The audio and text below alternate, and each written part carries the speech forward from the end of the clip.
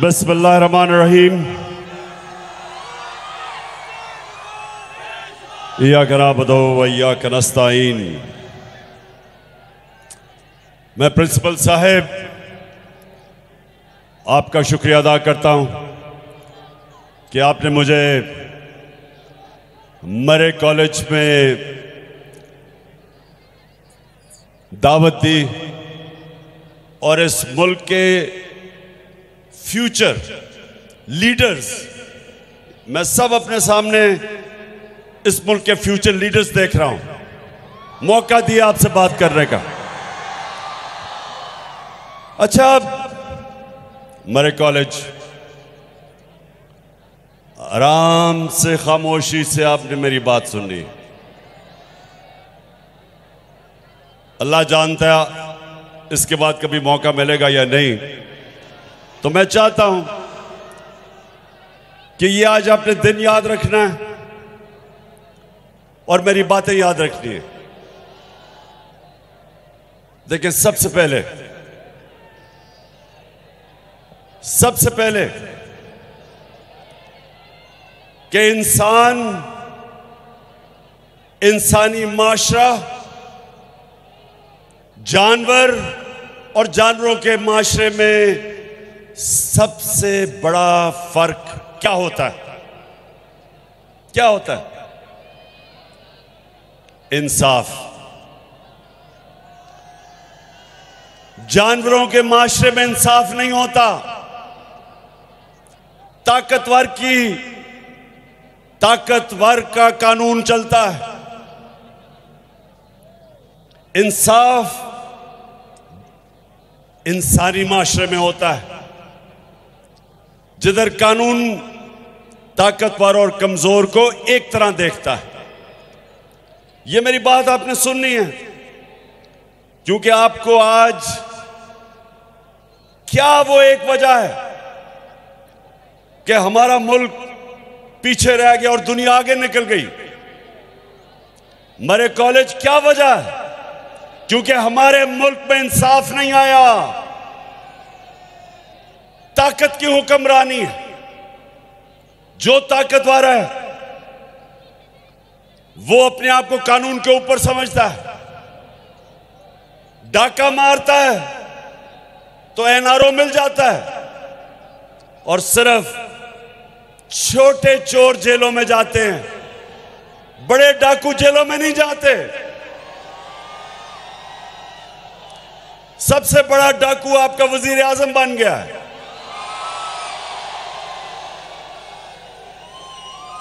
तो अल्लाह, सुन ले, दुनिया का सबसे अजीम लीडर, ना कभी कोई आया है, ना कभी आ सकता है।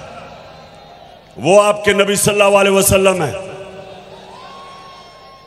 किसी इंसान ने इस दुनिया में वो अचीवमेंट नहीं की जो आपके नबी सल्लल्लाहु अलैहि वसल्लम ने की है। कोई इंसान ने इंसान की तारीख में वो अचीवमेंट्स नहीं की। उन्होंने क्या कहा था? उन्होंने कहा था कि जो कौम छोटे चोरों को जेल में डालती है और बड़े डाकुओं को पकड़ नहीं सकती, वो तबाह हो जाती है। तो आज हमारा मुल्क उधर खड़ा हुआ है। और मैं जो आपके पास आया हूँ सबसे पहली मैं आपको चीज़ कहूँगा कि अपनी पढ़ाई के ऊपर आपकी सबसे ज़्यादा तवज्जो होनी चाहिए। कौमें वो ऊपर जाती हैं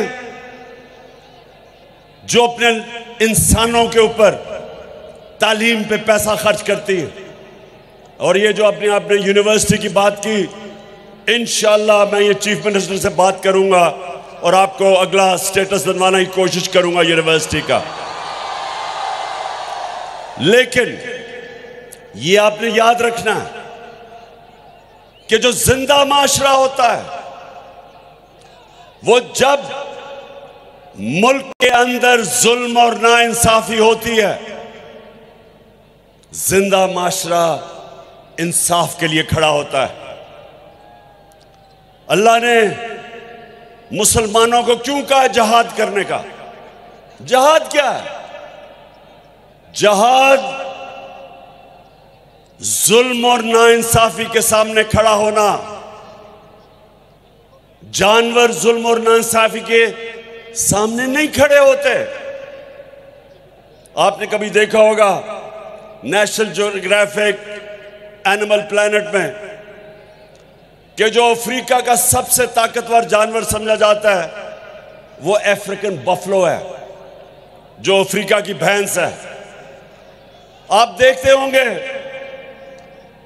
कि पाँच छह, दस शेर हज़ारों भैंसें खड़ी होती हैं। वो पहले उनको डराते हैं, वो जब भागना शुरू करती हैं तो वो एक भैंस को पकड़ लेते हैं, पाँच छह शेर। और वो सारे अपनी जान बचा के भाग जाते हैं। क्योंकि वो जानवर हैं। जानवर अपना सोचता है। इंसानी माशरे के अंदर इसलिए अल्लाह ने आपको कहा है कि जुल्म का मुकाबला करो। जुल्म के सामने सर ना झुकाओ। जो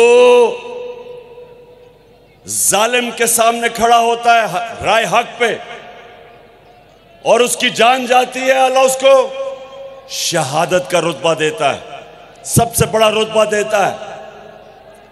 आज अगर अरशद शरीफ इस मुल्क का एक ऐसा सहाफी जो राय हक पे खड़ा था, अपने मुल्क के लिए जदोजहद कर रहा था कि चोरों को और डाकुओं को बेनकाब करने का, और जो रजीम चेंज हुई उसके खिलाफ।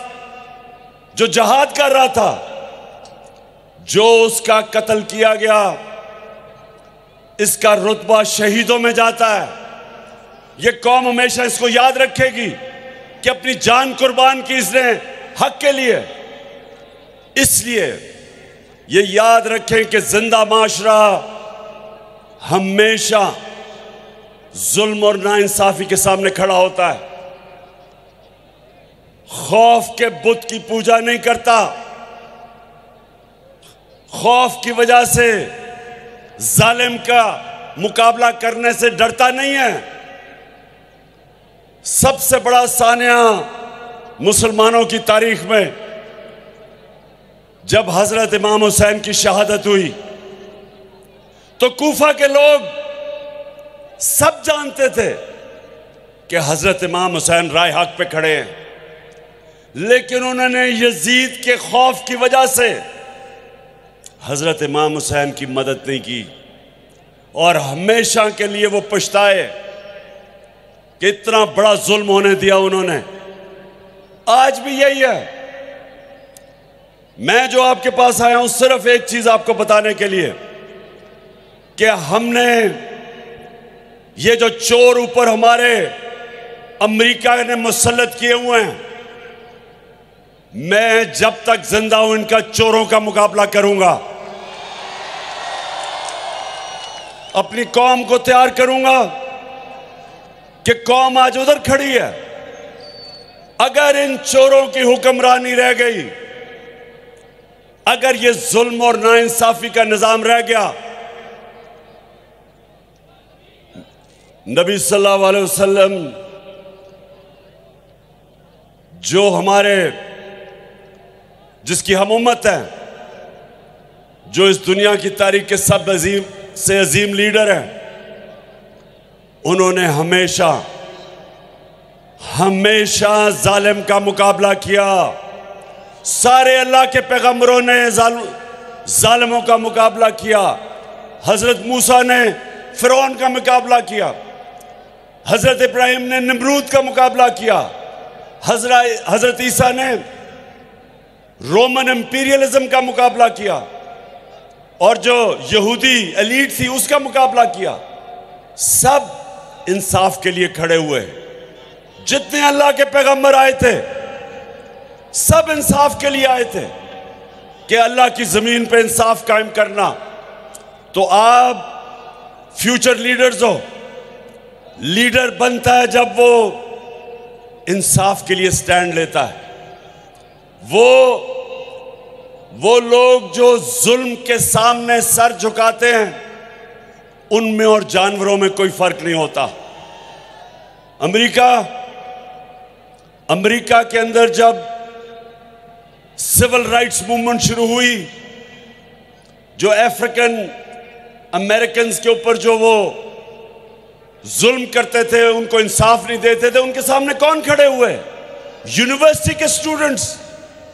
अमेरिका की यूनिवर्सिटी के स्टूडेंट्स निकले। जो वियतनाम वॉर हुई, उसके खिलाफ कौन खड़े हुए? यूनिवर्सिटी के स्टूडेंट्स कॉलेजेस के स्टूडेंट्स खड़े हुए। हमेशा नौजवान एक माशरे के इंसाफ के लिए खड़े होते हैं। जब बरतानिया ने इराक के अंदर जंग में शिरकत की बरतानिया को फ़ायदा था, जंग तेल के लिए थी। लेकिन 20 लाख लोग बरतानिया में निकले उस जंग के खिलाफ, क्योंकि उन्होंने कहा यह नाइंसाफी है, ज़िंदा माशरा आज आप सब पाकिस्तान के जो नौजवान, जिनका फ्यूचर, उनका फ्यूचर आज खतरे में है, ये चोरों को ऊपर बैठा के, आप सबने इस जुल्म के सामने, इस नाइंसाफी के सामने, इन जुराइम पेशा लोगों के सामने, आपने सब अपनी आवाज़ बुलंद करनी है।